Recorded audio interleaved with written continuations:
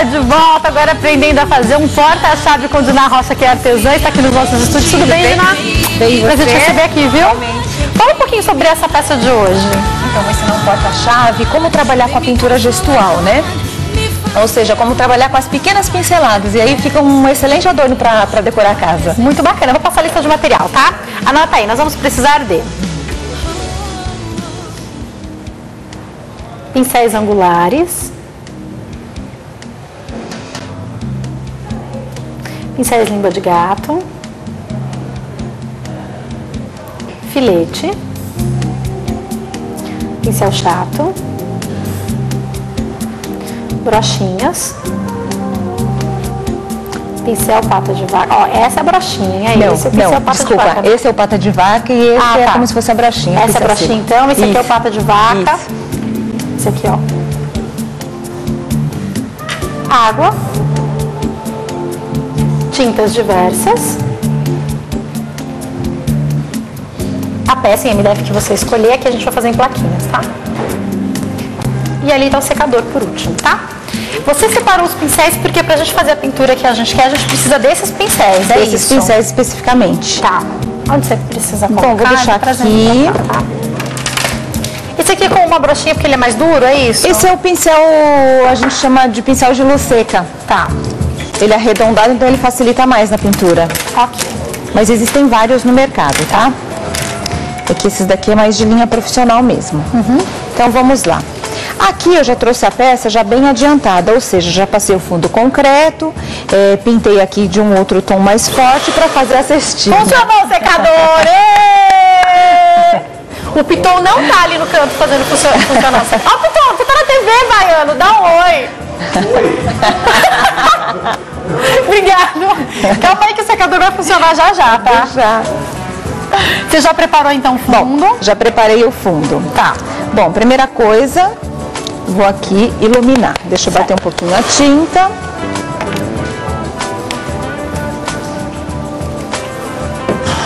Um guardanapinho. Pego meu pincel de luz seca.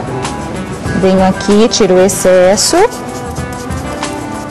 E venho iluminando aqui no centro da cestaria.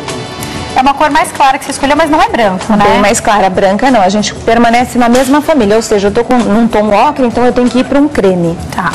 Quem não tiver, é só diminuir o tom com palha. Tá.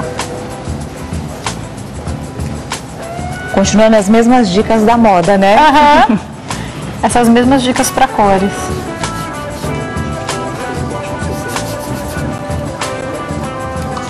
Tirar o excesso. Esse pincel tem que estar sequinho, viu, Jaque? Você sempre limpa bem, né? Tira bem o excesso. Bom, muito bem. Aí eu iluminei, o que, que eu vou fazer? Trabalhar agora com a sombra. Aí a sombra já é a sombra molhada. Vou pegar um pincel angular, que é o chanfrado. Pegar um tom de marrom. Agora é um, um tom mais escuro, É. né? Que eu vou fazer a sombra. Como que eu faço? Hidrato o pincel. Vou hidratar. Tiro o excesso. Deixa eu pôr um pouquinho mais pra cá.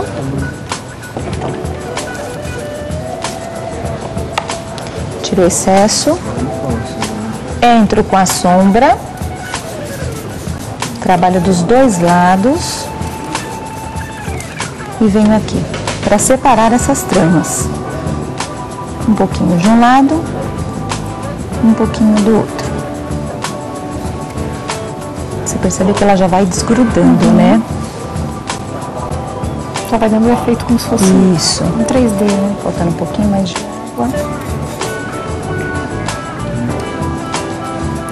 Eu gostei do tamanho desse pincel porque fica mais fácil fazer, né? É, as alunas falaram, a Dina sempre usa pincel grande. Eu prefiro grande porque eu consigo expandir mais a sombra, né?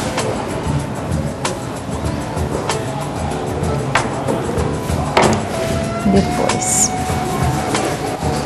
aqui, separando a sombra. Que tá em cima do que tá embaixo. Isso. Tá, isso vai até o final. O que, que eu vou fazer depois? Vou pegar um tom de marrom bem forte, ou seja, um preto, E vou fazer a profundidade dessa cestaria. Pode ser um sépia. Pode, um bem escurão que tiver. Pode ser até o preto mesmo. Preto, vinho, qualquer tom bem forte. Aí eu faço aqui a profundidade. Pincel filete.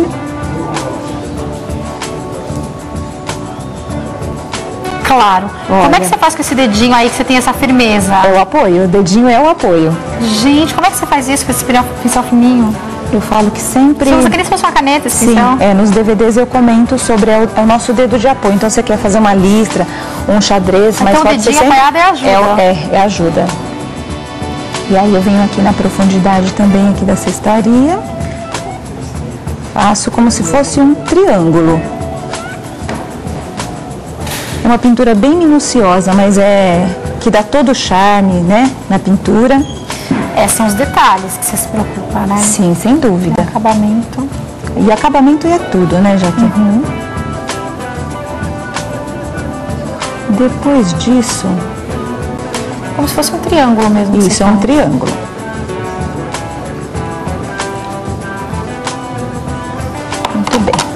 Aqui eu aproveito o meu tom de clarinho, né, o que eu tenho, que é tipo como se fosse uma manteiga. Tiro o excesso e venho aqui, ó, para dar o acabamento, ó.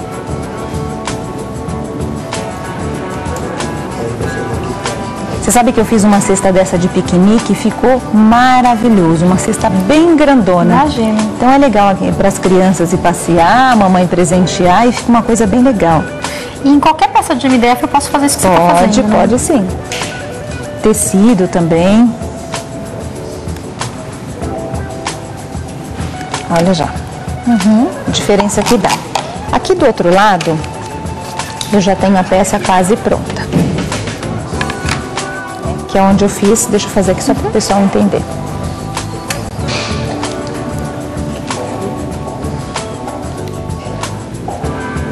E esse detalhe aqui dá todo um acabamento e fica super diferente. Em casa a gente vai com calma que a gente consegue também. Isso, é, sem dúvida. Basta querer, né? Só ter paciência. Como em tudo na vida. Isso aqui também é- faz muito bem pro coração. Eu digo sempre às meninas, pintar faz muito bem. Aí o que, que eu vou começar? Vou começar a pintar, fazer a folhagem. Quando a gente olha para uma paisagem, a gente vê lá no fundo tudo muito escuro. E aí a gente começa a vir com os tons intermediários até chegar na luz, que é o tom mais claro. E é a mesma coisa que a gente faz na pintura. Aqui eu vou pegar o meu marrom, bem escuro, quase preto. Quem quiser fazer o verde bem forte também Pode pode. também. Pode. O pincel língua de gato, ou seja, o filbert, e começo a dar as pinceladas, olha, eu só aperto e levanto ele de perfil. Olha. Só que sentidos alternados. Eu vou fazendo todo o fundo. Peraí, como é que, é que você faz essa folha fácil desse jeito? Peraí, vamos ver. Já é automático, não é? Muito fácil que você Olha, faz. vira Você aproveita o próprio pincel. o próprio pincel, ó, e vou dando uma viradinha.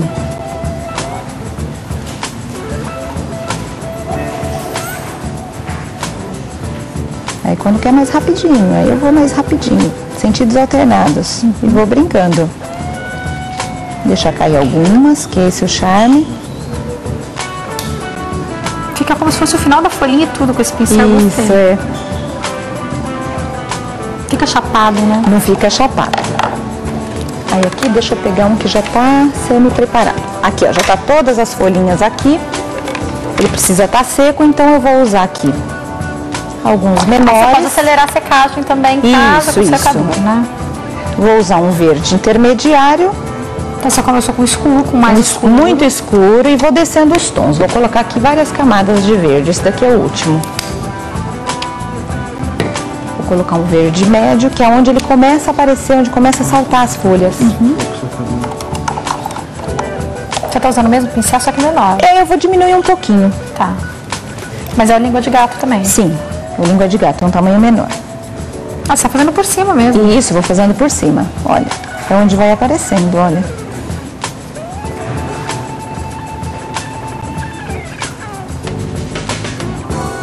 Posso ir colocando mais claro.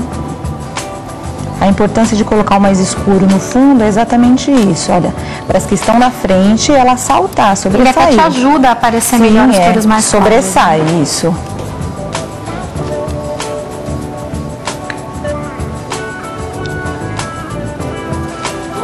Todas essas dicas eu ensino nos meus vídeos. É uma pintura bem Jaque? diferenciada, né? É, que a gente chama de still life. São as pinturas mais realísticas.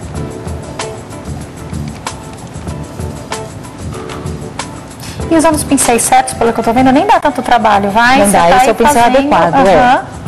Ele é bem fechadinho. É lógico que é Sim. diferente de você pegar e fazer uma decupagem e tal, que é muito mais fácil. Sim. Só que com o pincel próprio não fica tão difícil fazer uma folha, não por exemplo. é fica, não vendo, fica. né? Sabe que às vezes a pessoa, ah, eu não consigo fazer. Eu falo, consegue. Aí eu vou lá, pego na mão da aluna, ensino direitinho. Então pega. Eu falo, é, basta querer. Pega um papel e treina bastante. Agora, essa mistura de cores que você tá fazendo é uma carga dupla no pincel que você tá dando, vendo? Não, não. Já? Às Não, você tá misturando, Sim, né, às vezes pode pegar. Mas eu tô vendo que já vai dando uma... Isso, como Uma se fosse uma carga também, dupla né? assim. Você pode pegar um pouquinho do verde e um pouquinho do mais claro. Tira um pouquinho o excesso e dá como se fosse a carga dupla, que é o que você comentou. Que é como se fosse já uma luz junto com a folha, né? Isso. Bom, aqui já deu de folhas. Aí eu vou pegar o liner e vou puxar um pouquinho de galinho aqui pra fora. Tirar um pouquinho o excesso.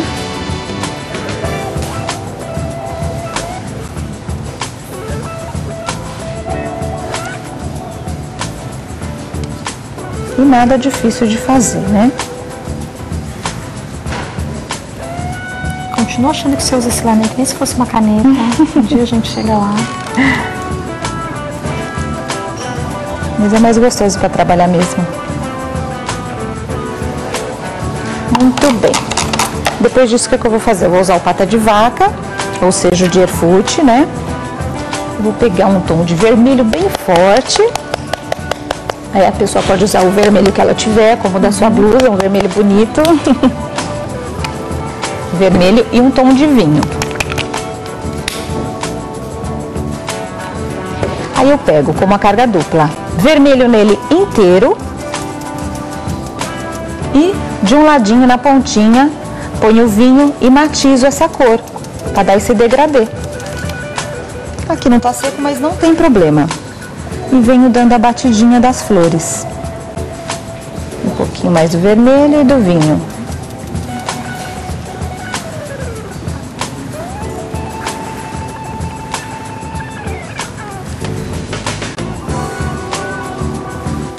Já vai formando todo o buquezinho.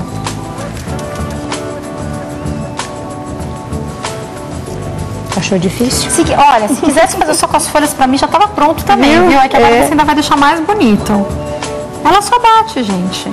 É só ter o É pincel. saber usar direitinho e usar o pincel Agora, qual é a adequado. força que você coloca na hora Nada. essa batidinha? Como uma peninha. Dá a impressão É que eu tô batendo forte? Não.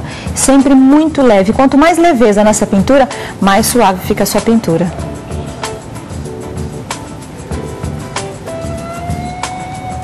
Eu gosto sempre dessa coisa de deixar caindo um pouquinho.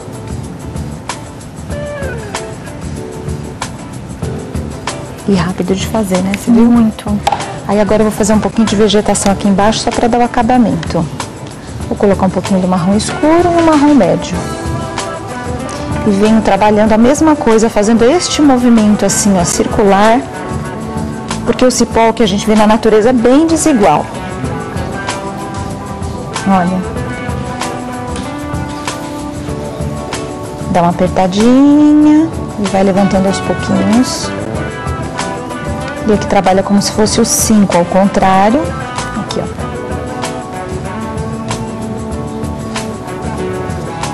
Um pouquinho mais. E vamos cruzar um pouquinho aqui. Pôr um pouquinho do claro. Pra dar o degradê. Parece que é de verdade, né, gente?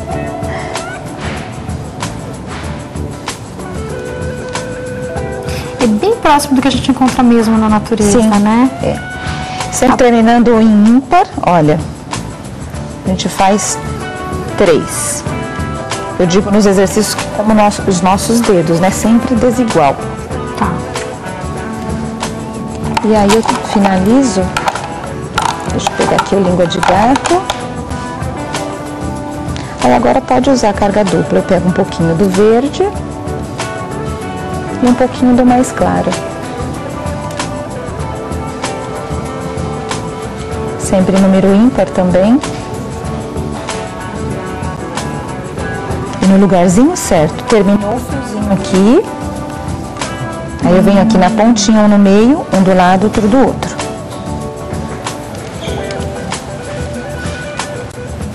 Muito bacana. E aqui pode usar o, pontinha do pincel e só coloca umas bolinhas aqui, ó, já que Você está fazendo isso com cabo do pincel? Sim, tenho, tenho as peças próprias, é. Por exemplo. Um É que ele já vai diminuindo, né? Você vai com a Isso. carga e vai passando, ele já diminui. Eu falo que já é tão automático, eu pego o que tiver na frente e a gente vai fazendo lápis. Isso, tá pronta a peça. Gente, você pode aplicar aonde você quiser.